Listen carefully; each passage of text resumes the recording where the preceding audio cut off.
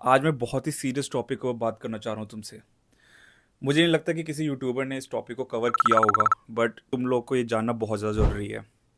अगर तुम बम्बल यूज़ करते हो या टिंडर यूज़ करते हो या तुम करना चाह रहे हो तो मैं चाहता हूँ इस, तुम इस वीडियो को एक बार पूरा देखो, क्योंकि वहाँ पर कुछ ऐसा हो रहा है ना, जो कि तुम्हारे मेंटल हेल्थ को ख़राब कर रहा है। अब वो क्या है? इसको बताने से पहले मैं पहले खुद का अपना एक्सपीरियंस बताऊँगा तुम लोग को। मैंने जस्ट तीन महीने पहले बम्बल को डाउनलोड किया था। And I really got lots of responses I mean मेरे को अच्छे खासे मैचेस आए वहाँ पर। मैं अच्छे खासे डेट्स पे गया लड़कियों के साथ और मेरे को अच्छे खासे फ्रेंड्स भी बने वहाँ पर। सब कुछ सही चल रहा था मेरा बम्बल पे। जब भी मेरे को कोई मैचेस आते थे या कोई मैच आता था तो मैं उस लड़की से बात करता था और मेरी ना वाइब मैच हो जाती थी उसके साथ। लाइक मेरे को लगता था कि अरे, ये तो वही लड़की है जो मेरे को चाहिए थी।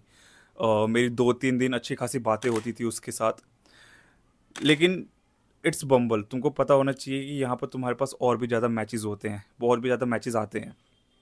और यही होता था मेरे साथ। अगर मैं आज जिस लड़की के साथ बात करता था, कल मेरे पास और ज़्यादा मैचेस आ जाते थे, पाँच छः मैचेस आ जाते थे तो मैं क्या करता था, फिर उस लड़की को छोड़ के मैं दूसरी लड़कियों से बात करना चालू कर जाता था।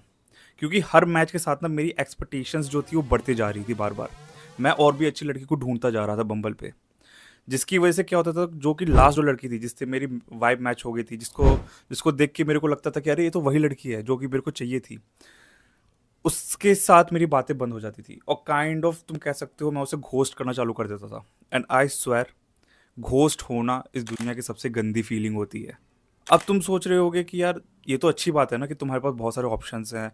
एंड बुरा तो उस लड़की को लगा तो तुम्हारी क्यों मेंटल हेल्थ ख़राब हुई? अब now think about in this way कि तुम भी बम्बल पे हो एंड तुमने भी तुम बम्बल चला रहे हो एंड तुम्हें कोई लड़की बहुत अच्छा बहुत पसंद आती है एंड तुम उसको राइट स्वाइप कर देते हो।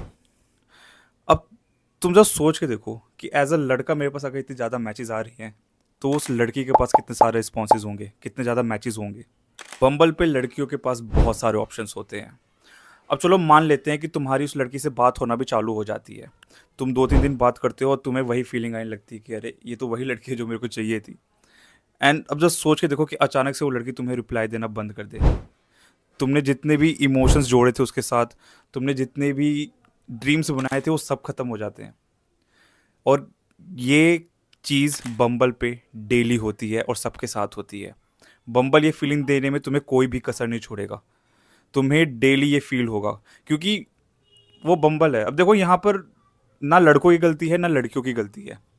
हमारी ह्यूमन ब्रेन ही इस तरीके से बना हुआ है ना कि जहाँ पर हम ऑप्शंस देखते हैं ना, हम वहाँ पर एक्सप्लोर करने की कोशिश करते हैं और हम एक ऑप्शन से दूसरे ऑप्शन पर जंप होते जाते हैं। क्योंकि बम्बल पे आधे लोग तुम्हें घोस्ट करेंगे, तुम आधे लोगों को घोस्ट करोगे और ये सिलसिला ना चलता रहता है और डेली चलता रहता है। इस चीज़ ने ना मेरे को इतना ज़्यादा मेंटली थका दिया था कि यार, ये सही नहीं है। और दिस इज़ द रीज़न कि मैंने बम्बल को कुछ दिनों बाद डिलीट कर दिया। एज अ पर्सनल अगर मेरे से पूछा जाए तो मैं रियल लाइफ अप्रोचिंग में बहुत ज़्यादा बिलीव करता हूँ।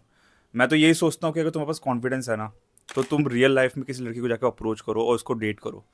क्योंकि ये जो बम्बल एंड टिंडर है ना, वो कहीं ना कहीं सही बताऊँ तो इट्स अ फेक लाइफ देखो, मैं बम्बल और टिंडर को ख़राब नहीं कह रहा हूँ, इन डेटिंग ऐप्स को ख़राब नहीं कह रहा हूँ कि ये बहुत ज़्यादा ख़राब है। अगर तुम फक बॉय पर्सनैलिटी वाले रखने वाले बंदे हो, या फिर तुम लोग को हुकअप्स चाहिए बस तो तुम जाओ इस ऐप्स पे। तुम्हें तुम्हें भर के मिलेगा ये सब। बट अगर तुम रिलेशनशिप ढूंढ रहे हो ना इन ऐप्स पे तो तुम बहुत बड़ी गलती कर रहे हो मेरे भाई। क्योंकि इन ऐप्स पे तुम्हें नहीं मिलने वाला ये सब चीज़। मैं तुम्हें सच्चाई बता दूँ अभी के अभी। और मैं तुम्हें एक और चीज़ बता देता हूँ। मैंने एक चीज़ नोटिस किया है इस बम्बल और टिंडर ऐप पे। इवन मैं अपने फ्रेंड्स के साथ भी नोटिस किया कि जिन लड़कियों के साथ हम लोग डेट करते हैं फ़र्स्ट टाइम वो हमारा लास्ट टाइम भी होता है। क्योंकि सेकंड डेट तक जाना बहुत ही मुश्किल होता है, वो लड़कियाँ दूसरे डेट पे चली गई होती हैं। क्योंकि कोई भी रुकता नहीं है यार, उनको भी एक्सप्लोर करना होता है और ज़्यादा ऑप्शन राइट तो यार देखो तुमने इस वीडियो को देख लिया है और तुम अभी भी सोच रहे हो कि तुम बम्बल एंड टिंडर पर जाना चाह रहे हो तो तुम जाओ। कोई प्रॉब्लम नहीं है। इवन अगर तुम कहोगे तो मैं इस पर एक वीडियो भी बना दूँगा कि किस तरीके से मैंने बम्बल का जो अपना अकाउंट था वो सेटअप किया था और किस तरीके से मेरे को इतने सारे मैचेस आए थे। तो अगर तुम लोगों को चाहिए तो तुम कमेंट कर देना तो मैं इस पर बना दूँगा वीडियो।